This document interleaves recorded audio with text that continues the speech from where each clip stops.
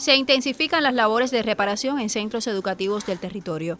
Por ejemplo, este año las transformaciones en dos círculos infantiles del municipio cabecera han sido los trabajos más significativos que acomete el sector. Esto es un ciclo que lo hemos remodelado y restaurado a la misma vez, porque aquí hemos aprovechado el tema de la carpintería, todo eso, hemos tenido que hacer un trabajo de restauración en unos cuantos lugares, recuperación y se ha trabajado, se ha trabajado fuerte. Ciclo que se le han hecho muchas cosas modernas, todas las instalaciones hidrosanitarias nuevas, la electricidad. Realmente el círculo lleva 60 años de construcción y que todavía eh, no se le había hecho ninguna reparación ni parcial que bueno, ahora con esta eh, reparación vamos a tener eh, el sueño esperado porque vamos a tener un círculo nuevo, con perspectivas nuevas y, y, bueno, es lo que espera toda directora de un círculo infantil, que las cosas estén, las condiciones de vida sean las mejores.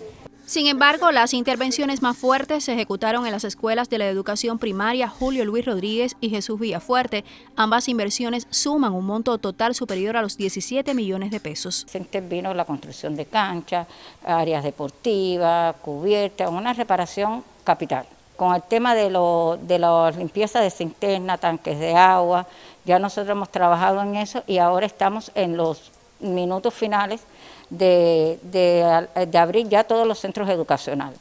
En el caso de estos centros de aislamiento, ya tienen sus levantamientos después que entró salud pública, que los fumigaron, y ya tenemos el levantamiento de todos los recursos que se echaron a perder por la cantidad de, de pacientes que pasaron por aquí, pero va a estar listo ya para el inicio. A pesar de estas labores que benefician a varios planteles escolares, existen problemáticas que afronta el sector rumbo al reinicio del curso. Estos centros que están evaluados de mar, como la Escuela de Oficio de aquí del municipio de Cienfuegos, Centro Politécnico José Gregorio Martínez, eh, ya tienen estos centros, tienen abasto de agua.